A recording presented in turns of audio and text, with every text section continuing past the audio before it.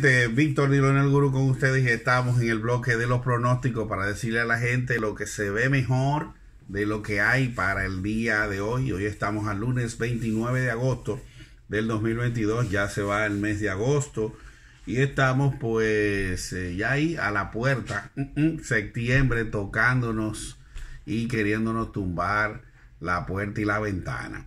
Decirles a ustedes que para hoy tenemos entonces los pronósticos de lo que hay en la WNBA y por qué no también de lo que tenemos en la cartelera del béisbol de grandes ligas. Como siempre, acertando en un porcentaje sumamente bueno, un 80% aproximadamente de los pronósticos que damos diariamente. Por la gracia de Dios, agradecer a FJ Puertas y Ventanas que están en el 829-928-5270 y Ducto Limpio y Ducto Grasa que están en el 809-930-1111. Vamos a entrar en materia en los pronósticos. Eh, continúan las series de la WNBA con Irico a las 8 de la noche en el día de hoy.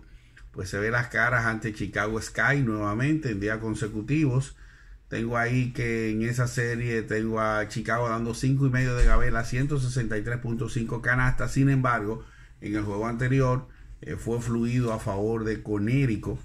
Y yo vuelvo a insistir, para mí Conérico eh, le juega mejor a Chicago Sky, independientemente de que eh, Chicago Sky juegue en su casa y se vea un equipo quizás con un nivel un poquito más alto que el de Conérico. Yo me voy con Conérico a juego y a menos puntos en ese partido.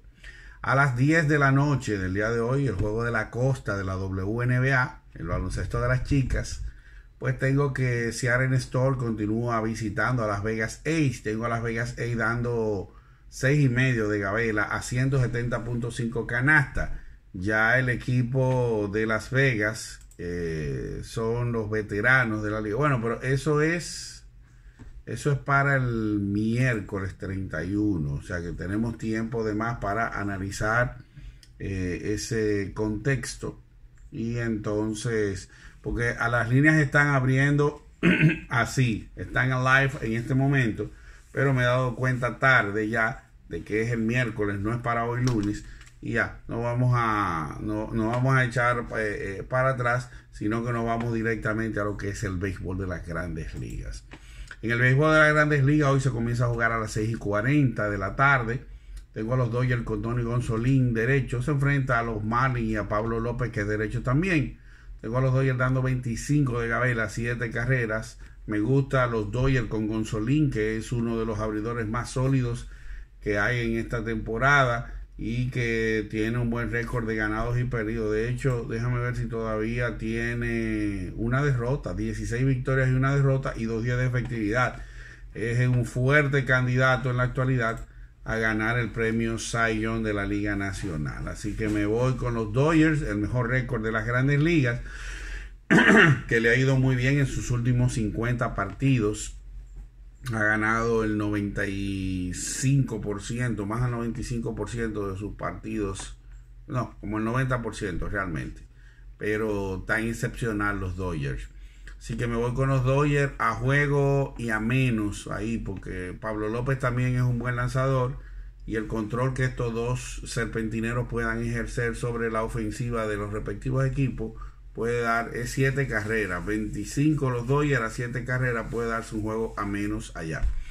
6 y 40 los Cardenales de San Luis que llevan a Miami Colas derecho frente a Cincinnati jugando en su casa que no ha anunciado todavía el lanzador. Decir ahí que la línea de San Luis dando 22 a 9 carreras y media, pero como desconocemos el lanzador contrario, pasamos ese partido. 7 y 7, Javier Assad derecho se enfrenta a de Chicago se enfrenta a Toronto y a José Berríos derecho. Toronto dando 24 de Gabela, 9 carreras. Toronto jugó una serie en su casa, sigue en su casa, en el Royal Center. Y el que viene de viaje es Chicago, los Cachorros, que es un equipo inferior. Así que yo me voy con Toronto a ganar en ese partido. Nueve carreras para estos dos lanzadores. Puede ser que esa carrera, ese carreraje se cubra sin problema. O sea que yo me iría también en esa parte a más carreras. 7 y 40, Boston con Brian Bello, derecho. Se enfrenta a los mellizos de Minnesota y Alan Bundy, derecho también. Minnesota dando 13 de Gabela, 9 carreras. Se ve bonito Minnesota ahí para ganar ese juego. Y los dos equipos eh, motorizan buena ofensiva, o sea que ese juego se debe dar a más sin muchos problemas. A las 8 y 10, los Piratas visitan a los cerveceros de Milwaukee. Los Piratas no, no han anunciado lanzador mientras que los cerveceros llevan a Kobe Burns, derecho, uno de sus mejores abridores. La rotación de Milwaukee en los últimos tres años ha sido muy buena y ha venido progresando de una manera excepcional. Aunque ahí no hay líneas ni gabela, a mí me gusta Milwaukee a ganar ese partido. Tengo que a las 9 y 38, ¿verdad? Un juego ya de la costa. Frankie Montaz, derecho, se enfrenta de los Yankees, se enfrenta a los Angelinos y a Jorge Suárez que es zurdo. Tengo ahí a los Yankees dando 18 de Gabela, 8 carreras.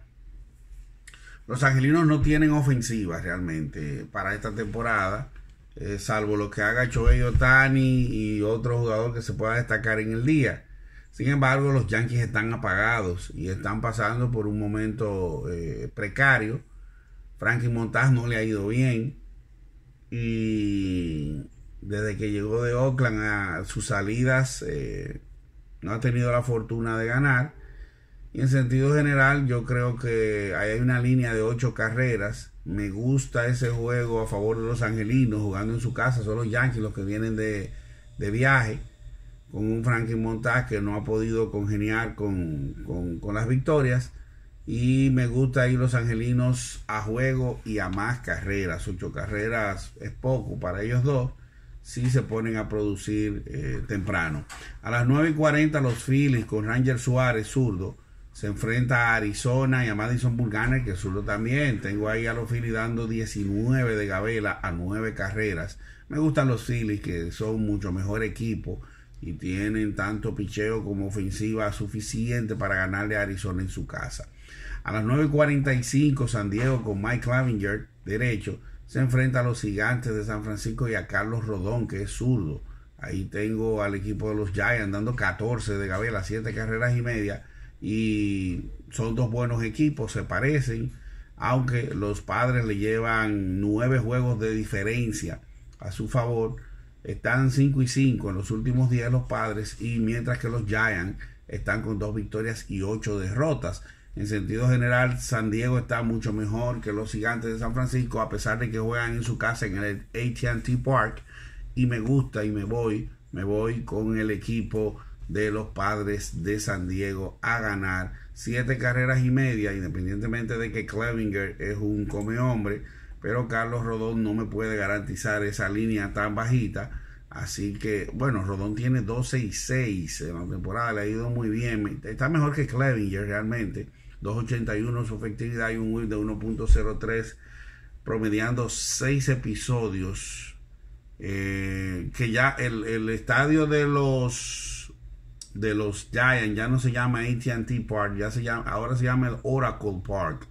Le cambiaron el nombre y ustedes saben que es un tema de negociación. Antes era una telefónica. Oracle ahora es una empresa que hace, que también tiene que ver con telefonía móvil pero más que todo ellos hacen productos, software y demás.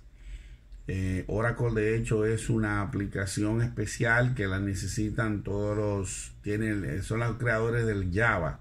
El Java es la interfase que permite que en el Internet tú puedas ver eh, los gráficos moviéndose y demás. O sea que es una, una, una estructura importante en el mundo de la computación.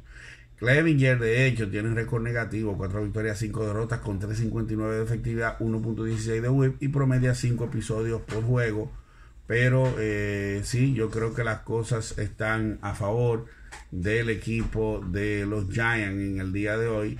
Pero pienso que San Diego se puede sacudir y en sentido general tener una buena, una buena eh, acción a favor de Clevinger y Rodón coger su palito porque no siempre tú tienes una temporada de luz. Así son las cosas, señores. Eh, tempranito, poniéndolo a ustedes al tanto de lo que hay en la cartelera en el día de hoy. Yo soy Víctor Lilón el Gurú. Decirles a ustedes que se mantengan en contacto, en conexión con mis redes. Pueden encontrarme como Víctor Diloné, como Bedilone con chica y como el Gurú Sport RD, donde hay contenido furia exclusivo solo de deportes. Ahí tenemos para ustedes eh, siempre presto que te suscribas, le dejas la campanita de notificaciones, le des like al contenido y sobre todo comenta y comparte. Pasen buen día, buena mañana y ya lo saben, manténgase ahí. Hasta el próximo bloque. Bye bye.